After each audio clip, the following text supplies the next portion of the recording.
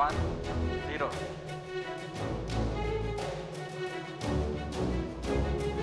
Plus 10 Magnificent seconds. liftoff of PSLV C-57 with Aditya L1 on board. Plus 15 seconds.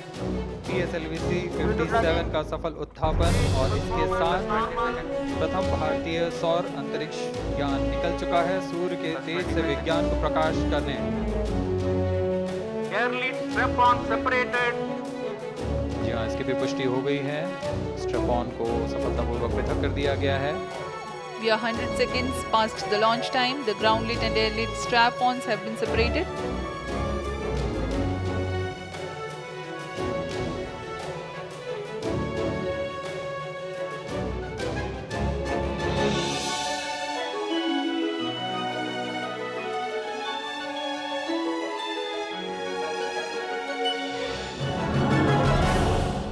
Congratulations.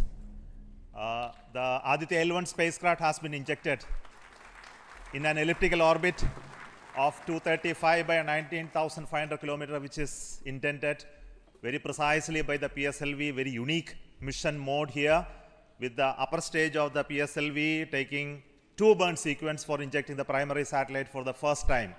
So I want to congratulate PSLV for such a very different mission approach today to do this mission of Aditya L1 to put it in, in the right orbit. Now, from now, the Aditya L1 will take its uh, journey after some Earth maneuvers. It will start its journey to the L1 point, a very long journey of almost 125 days. So, let us wish all the very best to Aditya spacecraft for its long journey and being put around the halo orbit of L1. So with me, the mission executives are there. Uh, Mr. Biju, the mission director, and Nigar Shaji, the director of the satellite project. project. So let them join me. Our Honorable Minister of State for Science, Technology and Space is here, Dr. Jitendra Singh. So I request him to speak a few words. Congratulations, India.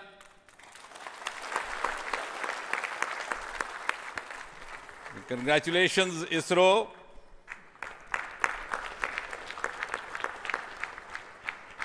And while the whole world watched this with bated breath, it is indeed, indeed a sunshine moment for India.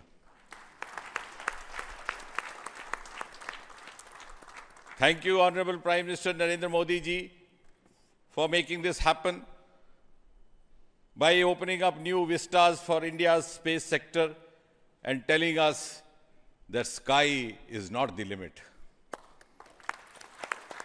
Thanks also, Honorable PM, for giving us the confidence, the courage, and the conviction to reach out to the stars and to discover the mysteries of universe beyond. And thanks also for making us realize the enormous potential of our space fraternity. Ladies and gentlemen, Indian scientists had been working, toiling day and night for years and years together, but now, now comes the moment of vindication, the moment of redeeming the pledge to the nation. And coming close on the heels of successful Chandrayaan 3 landing, the successful launch of Aditya L1 is also a testimony to the whole of science and a whole of nation approach which we have sought to adopt in our work culture. While ISRO is credited in executing this mission, the science institutes across the country have come forward to contribute in one form or the other, in small measure or big, to this mission. To name a few, the Indian Institute of Astrophysics, Bengaluru, the National Aerospace Laboratories, the Tata Institute of Fundamental Research, Mumbai, the NEERI NGRI, Nagpur, the IIT Kharagpur, IIT Madras, IIT Delhi, IIT Mumbai, and the list is too long. But that, having said that, gives me the confidence to say that this day, the 2nd of September 2023, is a day of reckoning when we move on into the next 25 years of Amrit Kal and Mother India pledges with the collective will and collective effort of our 140 crore children to reach and occupy the place of pride on the world pedestal. Congratulations once again, Chairman Somanath, the entire ISRO team, and the entire countrymen.